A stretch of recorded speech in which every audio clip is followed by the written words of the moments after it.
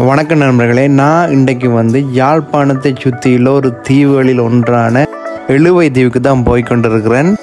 அதுக்கு போகக்கூடிய ஒரே வழி வந்து ஃபெரி அதாவது லோஞ்சி மூலமாக தான் போக முடியும். இந்த லோஞ்சி வந்து ஊர்காவல் துறையில் இருந்து தான் வெளிக்கிடுது அந்த ஊர்காவல் துறையில் இருந்து லோஞ்சி வெளிக்கிற அந்த பாயிண்ட்டுக்கு தான் நான் இப்பொழுது வந்திருக்கிறேன்.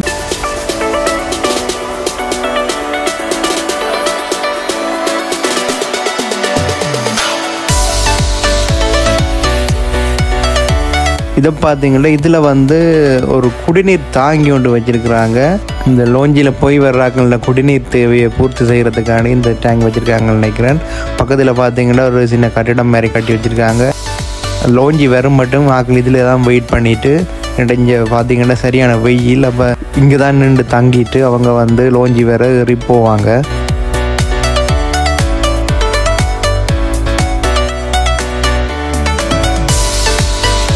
இதில் இருக்கிற லோஞ்சியில் நாங்கள் எழுவதீவுக்கு போக போகிறோம் இந்த ஐயாண்ட தான் இந்த லோஞ்சி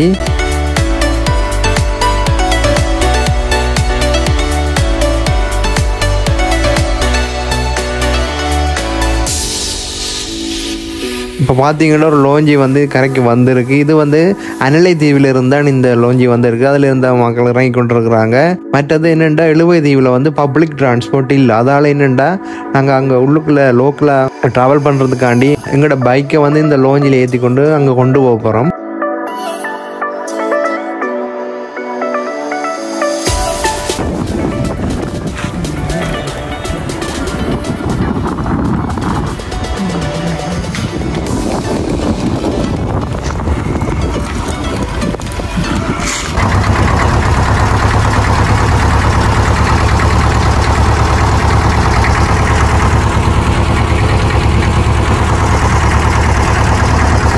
இப்போ வந்து போட் வந்து கடலுக்கால போய்கிட்டு இருக்கு பைக் வந்து இந்த போட்டில் கட்டியிருக்கிறாங்க. இதுக்கு சப்போர்ட்டுக்காண்டி நான் அதில் பக்கத்தில் இருந்து பிடிச்சுட்டு இருக்கிறேன்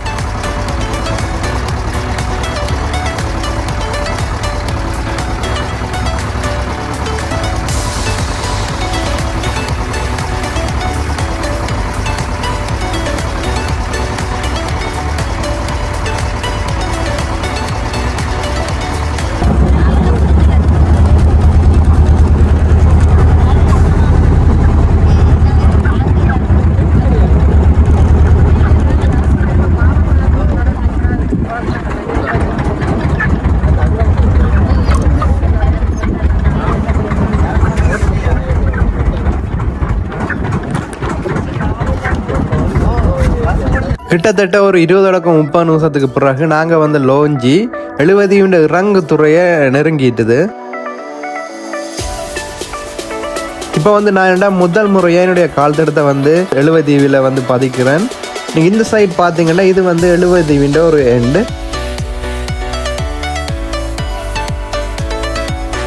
எழுவதீவு வந்து நீளம் கூடின அகலம் குறைஞ்ச ஒரு சிறிய தீவு.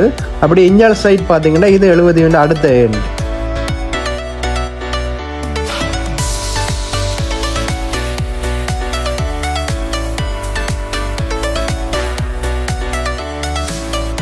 எழுபத்தீவு இறங்கு துறைமுகத்திலேருந்து ஒரு நூறு மீட்டர் தள்ளி பார்த்தீங்கன்னா இங்கே ஒரு சர்ச் ஒன்று இருக்குது இந்த சர்ச் வந்து saint Thomas the apostle church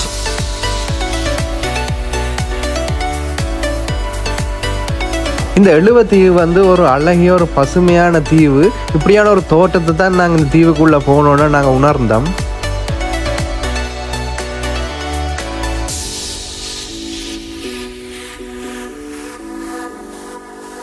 இது வந்து ஈழத்து திருச்செந்தூர் என்று அழைக்கப்படுற இழுவை தீவு முத்தன்காடு முருகமுத்தி கோயில். இந்த கோயில வந்து அண்மையில் தான் திருவிழா நடைபெற்றிருக்கிறது.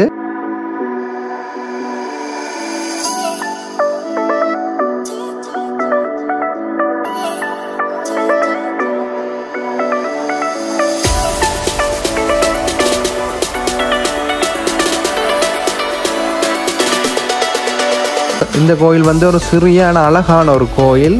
இங்கே வந்து கொடித்தம்பம் இருக்குது அதனால் இங்கே வந்து திருவிழா காலங்களில் சித்திரத்தேர் வந்து இழுக்கிறாங்க. இந்த ஸ்கூல் வந்து எழுவதீவு முருகவேல் வித்தியாலயம். இந்த ஸ்கூலை பார்க்கும்போது என்னுடைய சிறு வயது பாடசாலை நினைவுகள் தான் வந்தபோது உங்களுக்கும் உங்கள் சிறு வயது பாடசாலை நாட்களை எண்ணி பார்க்கும்போது நிறைய அழகான தருணங்கள் உங்கள் மனதில் தோன்றும் என்று நான் நம்புகிறேன்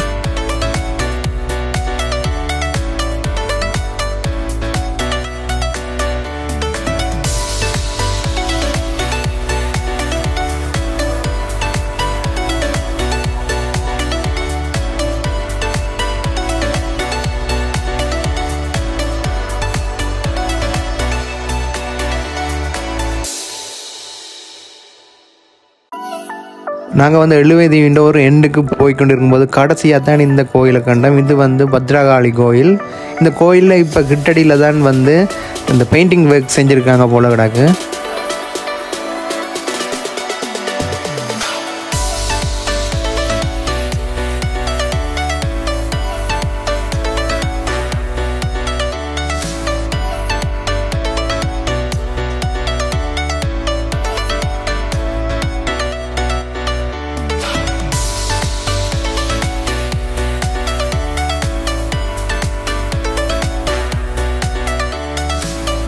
நாங்கள் இப்போ இந்த தீவின்ற ஒரு எண்டுக்கு வந்துட்டோம்.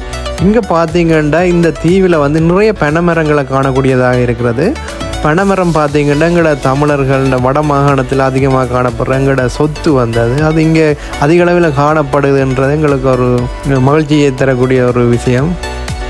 மற்றும் ஒரு குறிப்பிடத்தக்க விஷயம் என்னென்னா எழுவதீவில் வந்து சாப்பாட்டு கடைகள் இல்லை. இப்போ நீங்கள் இங்கே ட்ரிப் வர்றீங்கன்னா நீங்கள் வந்து ஊர்காவத்துறை அல்லது யாழ்ப்பாணத்தில் இருந்து உங்களுக்கு தேவையான சாப்பிட்றதுக்கு தேவையான சாப்பாடை வந்து பார்சல் பண்ணி கொண்டுறது வந்து உங்களுக்கு வந்து ஒரு நல்ல ஒரு ஐடியாவே இருக்குமென்னு நினைக்கிறேன்.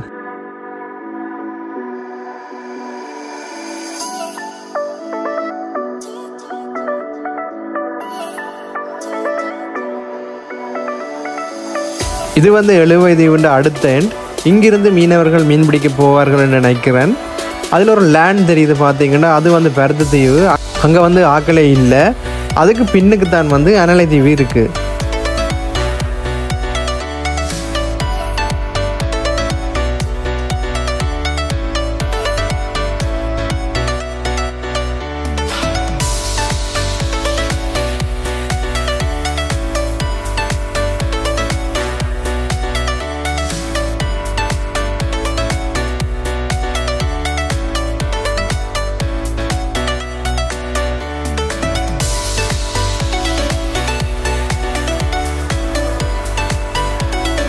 எழுவை தீவிൻ്റെ எலக்ட்ரிசிட்டி சப்ளை பார்த்தோம்னா இலங்கையிலே முதல் முதலாக ஹைப்ரிட் பவர் பிளான் வந்து ஸ்டார்ட் பண்ணப்பட்டது இங்கே தான் இங்கே வந்து எலக்ட்ரிசிட்டி வந்து காற்றாலைகள் சோலார் பேனல் மற்றும் டீசல் மூலமாக வந்து எலக்ட்ரிசிட்டி ப்ரொடியூஸ் பண்ணப்படுகிறது. கிட்டத்தட்ட அறுபது கிலோவேட்ஸ் அளவான மின்சாரம் வந்து இந்த ஹைப்ரிட் பிளான்டால் உற்பத்தி செய்யப்படுகிறது.